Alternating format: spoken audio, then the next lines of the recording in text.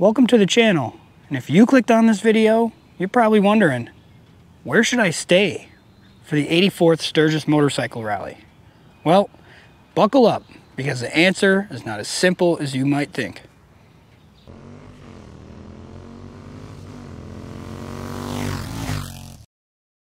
So before we even get into the different types of accommodations there are during the rally, let's talk about location. If you're brand new to the Sturgis experience and maybe you started looking around at prices and potential lodging, you might not understand just how large this rally is and the area that it encompasses. I mean, we're talking several different counties, multiple different states. So you don't have to stay in downtown Sturgis.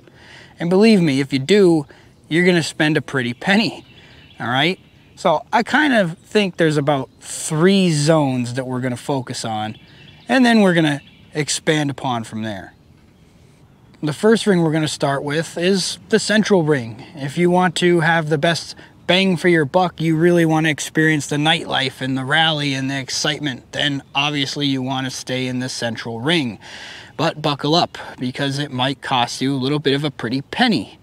The central ring obviously is going to be centered around Sturgis itself and you can stay in downtown Sturgis. There's hotels, motels, Airbnbs. You could even camp downtown. Moving out from Sturgis, still within the central ring, Next, you're gonna have Deadwood, South Dakota, which in and of itself is its own attraction. I mean, if you go to Sturgis, you pretty much have to go visit Deadwood.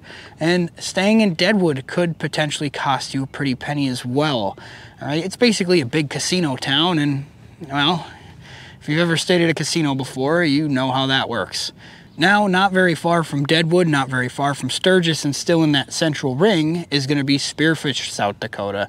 And a lot of people decide to stay there. Spearfish has it all too. They have camping, they have hotels, they have motels, and quite a few people decide to move up that way.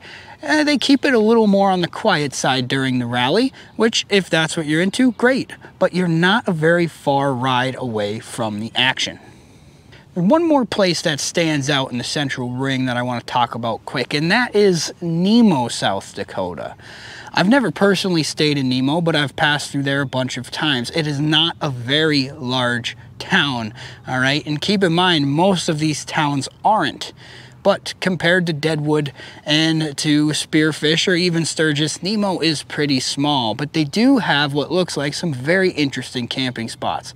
And I've never stayed there personally, but I've always been slightly jealous because Nemo kind of sits center in Vanocker Canyon. So every time you leave Nemo, whether you're going to Rapid City to maybe go to Black Hills Harley Davidson, or you're going to Sturgis to go downtown and do the rally thing, you pretty much have to ride through Vanocker Canyon, and that's pretty beautiful. So being in the central ring and very close to all the action, you also get a really neat ride right off the bat. If we push out a little bit further, we get into the second ring. And the second ring is still a great place to stay for the rally. Locations inside the second ring are going to be Rapid City.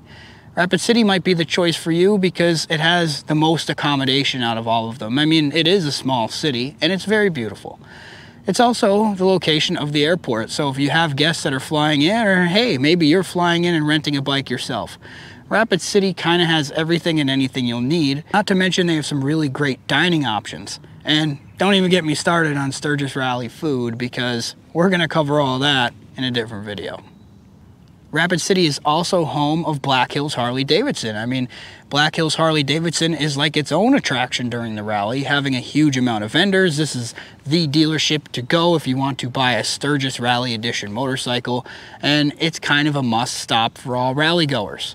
Now, you are a little further away from Sturgis if you're staying in the Rapid City area or anywhere in this third tier, but that has its pros and its cons.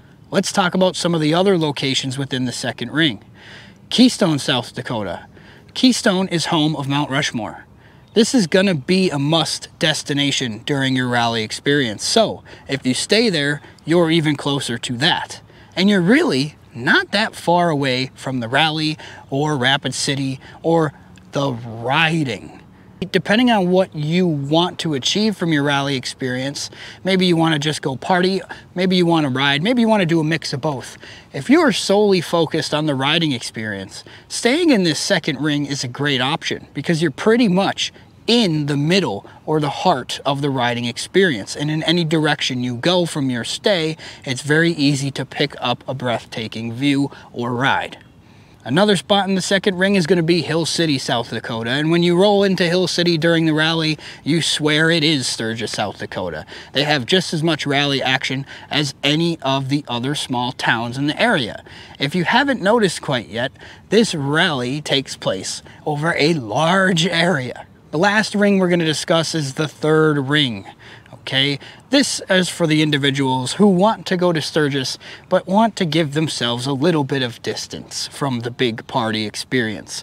They don't mind rolling into the party once or twice during their stay, but they don't need it every night.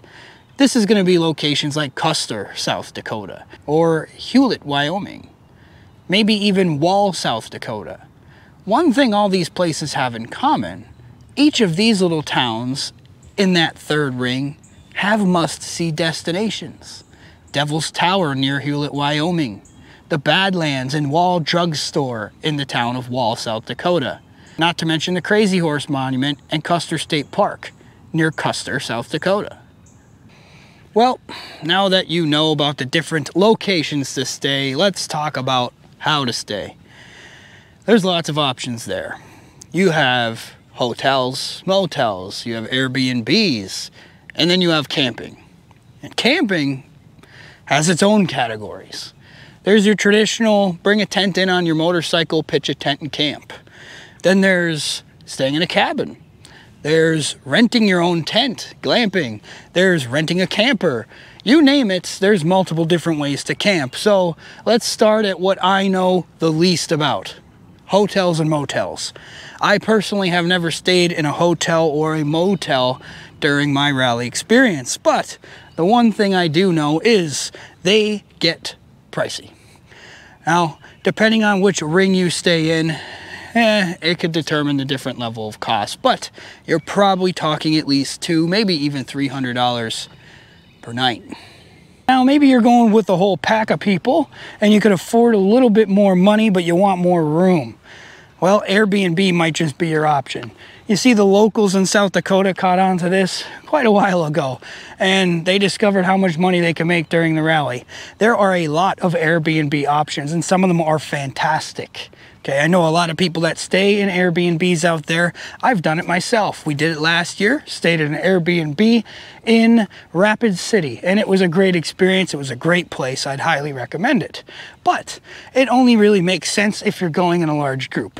It does get pricey trying to rent out an entire house, sometimes even an entire complex.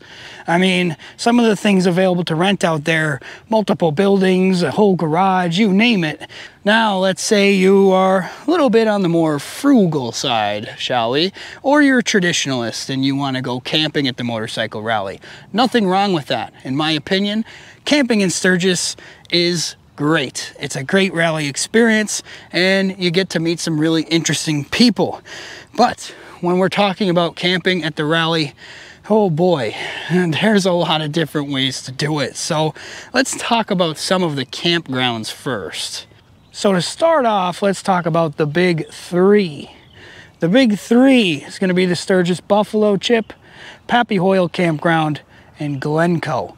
And if you've never heard of any of those three, then you need to plan a trip to the Sturgis Motorcycle Rally. To kick it off first, you have Pappy Hoel Campground. It's located right next to the Full Throttle Saloon, world's largest biker bar. If you haven't heard of that, look it up. It's going to be a place you want to stop at during your rally experience, and they have a massive campground. The Full Throttle Saloon is part of the Pappy Hoel Campground, and they do have concerts there. Not the biggest names during the rally, but some pretty good lineups nonetheless. But Pappy Hoel is the furthest away from downtown Sturgis out of the three. And it's not far away. It's not that big of a ride.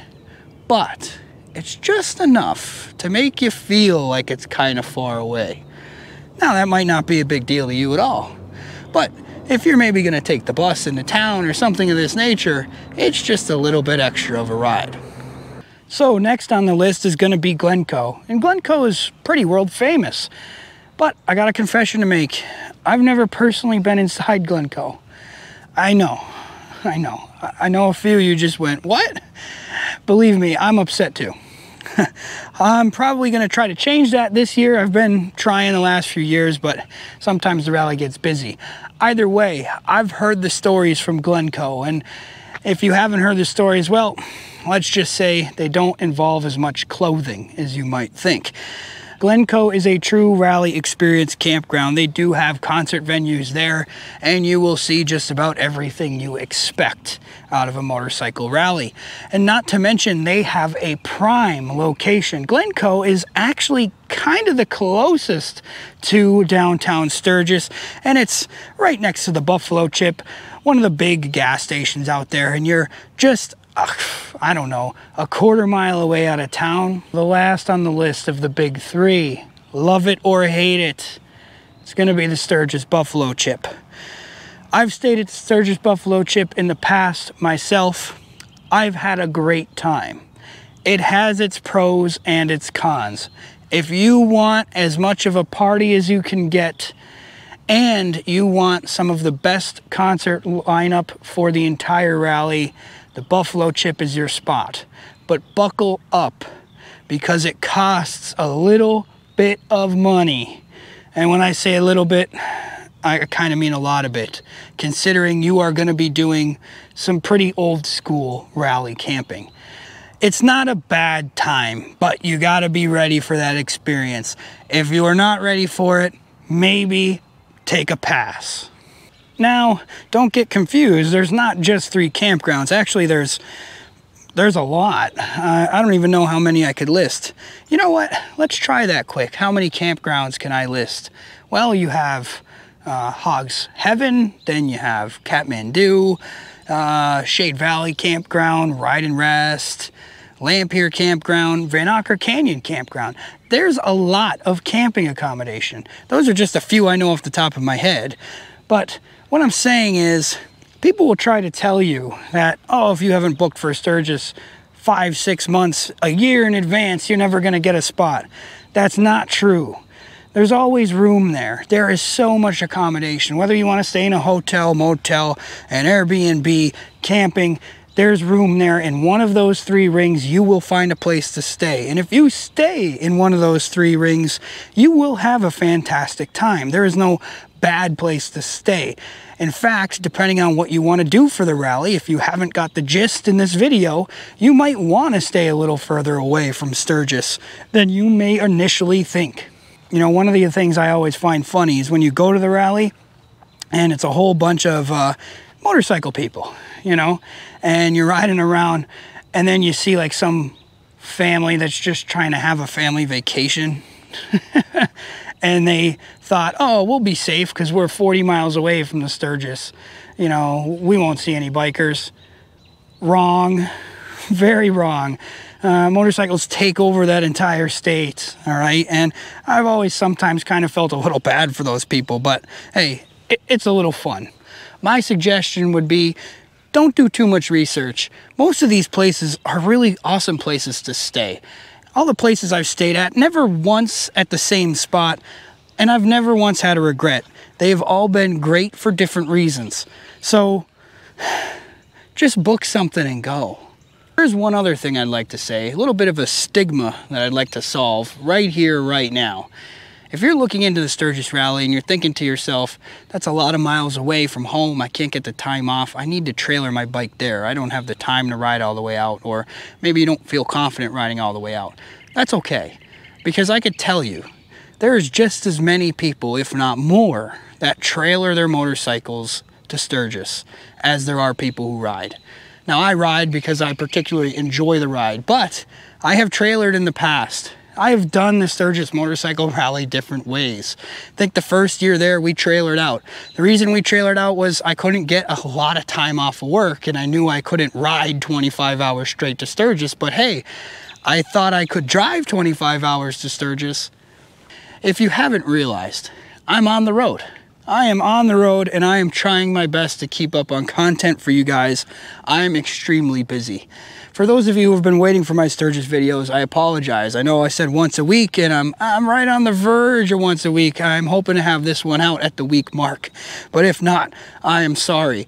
I travel quite a bit for work. If you don't know, I'm a motorcycle safety instructor. So I get to travel around my home state and teach people to become safer riders, and bring new riders into our community.